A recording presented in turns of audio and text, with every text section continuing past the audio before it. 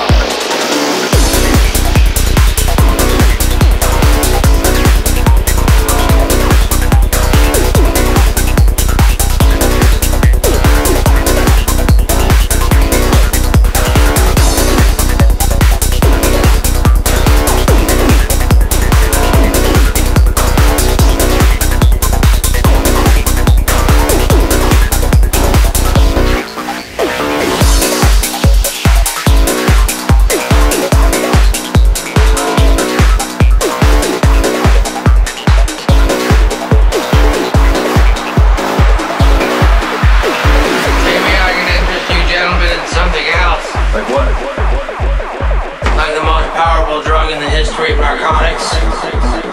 I'm not at liberty to discuss or disclose. All I can tell you is this stuff is so powerful, they give it to communists.